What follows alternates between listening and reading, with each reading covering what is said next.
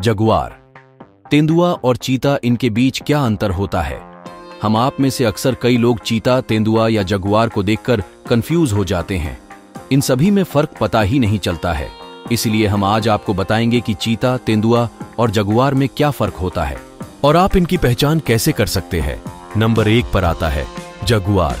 Jaguar आमतौर पर दक्षिणी पश्चिमी अमेरिका, मेक्सिको, मध्य अमेरिका, अमेजन के जंगल पराग्वे और अर्जेंटीना के दलदली इलाकों में पाया जाता है। जगुआर की औसत ऊंचाई 75 सेंटीमीटर तक होती है और लंबाई 150 से 180 सेंटीमीटर के बीच होती है। इसके अलावा इसकी पूंछ लगभग 70 से 90 सेंटीमीटर तक होती है। जहाँ तक इसके वज़न की बात करें तो इसका वज़न लगभग पैंसठ से लगभग 140 किलोग्राम तक होता है। जगुआर का कोट हल्के पीले से लेकर भूरे या लाल पीले रंग का होता है। और इसका निचला हिस्सा सफ़ेद होता है और गोल गोल काले धब्बों से ढका होता है।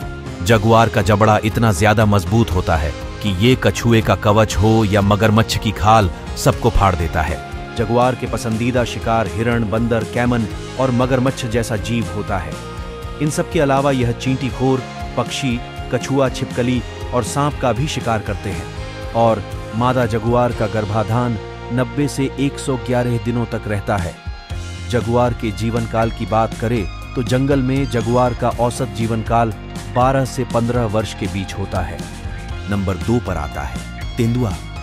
तेंदुआ चीन, भूटान, नेपाल, भारत, रूस और मंगोलिया सहित 12 देशों में पाया जाता है।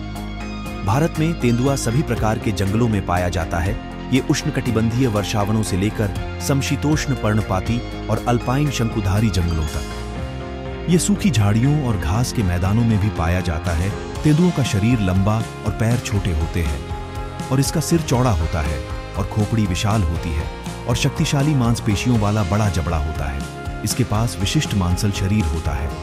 इसके रंग की बात करें तो इसके पास हल्के पीले से लेकर गहरे सुनहरे रंग का फर होता है और रोसेट्स में काले धब्बे होते हैं और इसका वज़न 30 से पैंसठ किलोग्राम तक होता है और इसकी लंबाई बानवे से एक सौ तिरासी सेंटीमीटर तक होती है और पूंछ छियासठ से 102 सेंटीमीटर लंबी होती है और ऊंचाई 60 से 70 सेंटीमीटर तक होती है।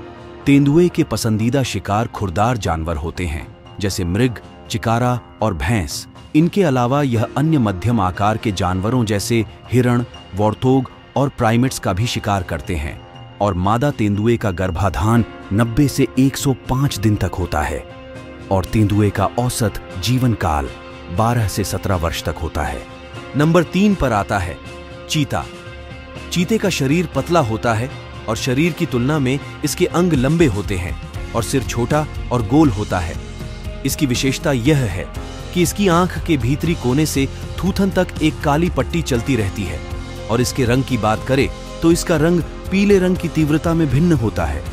और ये पिछली प्रजातियों की तरह एक विशेष आकार स्थापित किए बिना इसके पूरे शरीर पर छोटे छोटे काले और गोल धब्बे होते हैं और इसका वज़न 20 से बहत्तर किलोग्राम के बीच होता है, जबकि इसकी लंबाई 112 से 150 सेंटीमीटर और ऊंचाई सड़सठ से चौरानवे सेंटीमीटर के बीच होती है।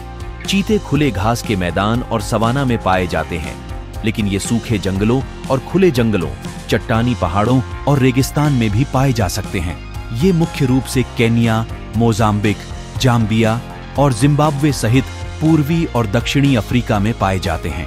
चीता ज़मीन पर दुनिया का सबसे तेज दौड़ने वाला जानवर है।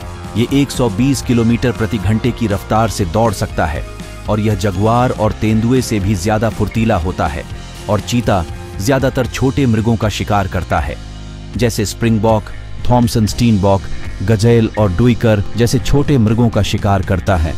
ये आमतौर पर अपने शिकार का पीछा करते हैं और फिर उसके गले को काटते हैं और मादा चीता का गर्भाधान तीन महीने का होता है। एक आज़ाद चीते की आयु 10 से 12 वर्ष के बीच होती है।